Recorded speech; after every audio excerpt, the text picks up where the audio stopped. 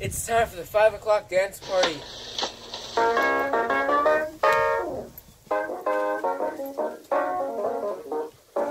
I heard about the fella you've been dancing with all over the neighborhood. So why didn't you ask me, baby? Or didn't you think I could? Well, I know that the boogaloo is out of sight. It's a shame thing.